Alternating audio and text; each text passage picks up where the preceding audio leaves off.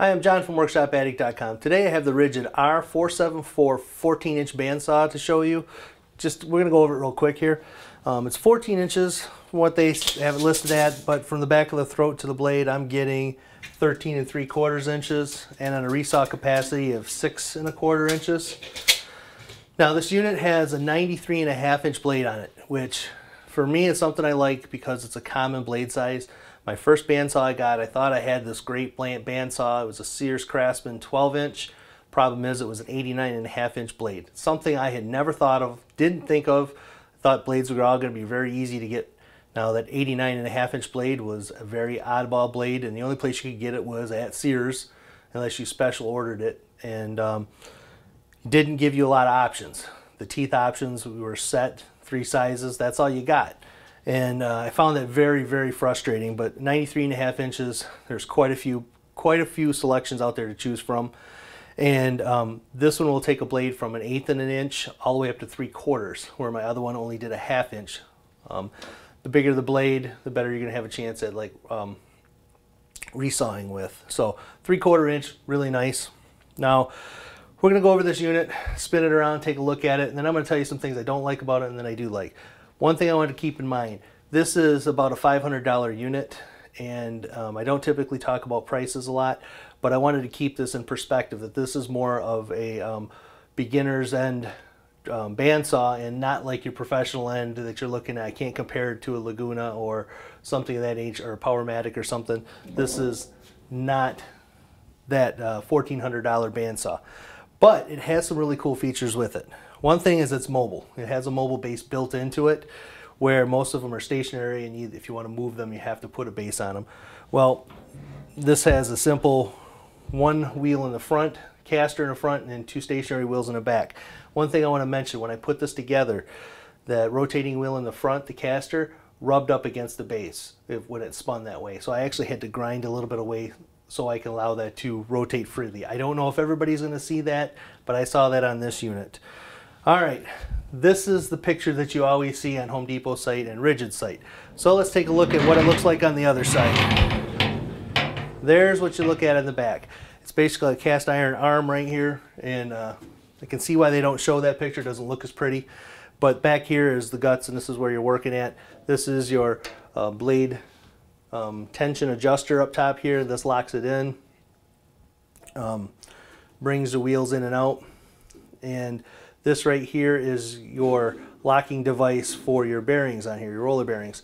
Now, at first I was hoping that this was going to be, you know, a dial where you can dial it up and down, but you can't. You actually have to manually move this around. Not a big deal. Your belt right here is your belt guard. Your belt attaches to your motor, which is hanging on the inside of this bottom case. This is not a storage compartment. This is just a housing for your, your motor.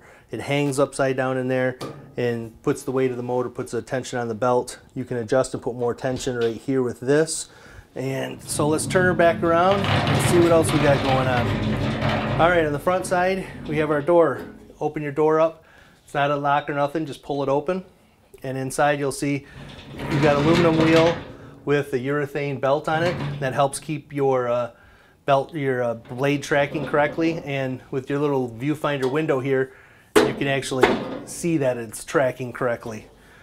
There is some directions on the inside of this, tells you your blade size, what your um, blade sizes can be, you know, 93 and a half, one and an eighth inch to three quarter inch. So that's in there in case you lose your manual, you'll know. Um, down below you have a two and a half inch or four inch dust port.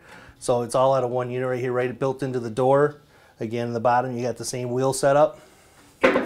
Um, one thing I like about this unit, like and hate. So let's talk about the like part. The roller bearings right here, very easy to adjust. You don't need an Allen wrench, very simple.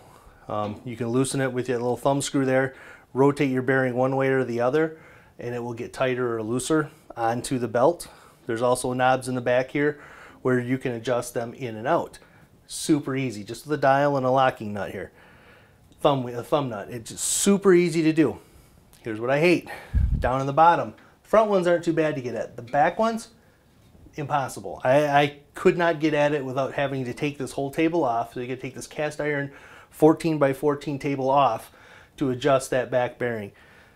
Kind of a hassle, especially if you're going to be someone who's going to be switching between blades a lot. Typically I don't, so it's not a big, big issue for me.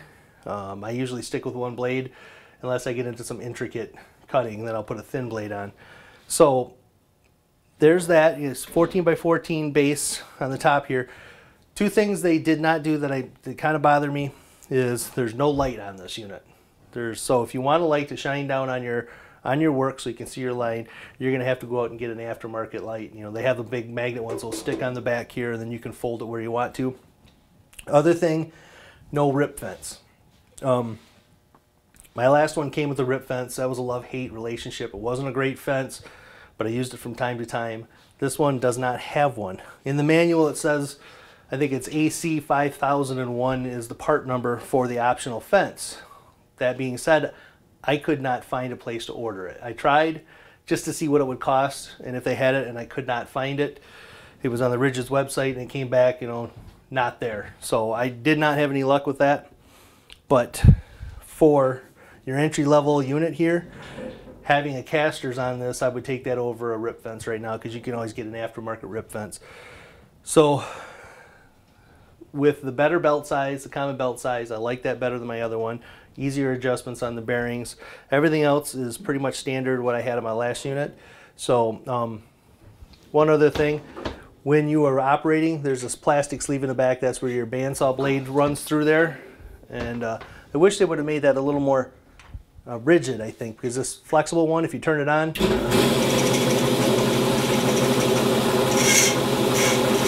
you can hear it rattling back there. You can hear that blade just a couple teeth catching it. And uh, not that it's a big deal, but it's just a little bit annoying. It's a little louder. Other than that, this unit works pretty darn good. I was tracking it earlier, and you know it's a new blade and everything, but I don't have any drift on the blade that I had on my last unit. These bearings are really keeping it right where I want it. So for the price, I'm happy with this unit. And uh, if you got any questions, any comments, you got experience with this unit, please let us know underneath in the comment section. Otherwise, uh, go over our forum, subscribe, talk about some tools with us, um, subscribe to this channel, and until next time, I'll talk to you later. Bye.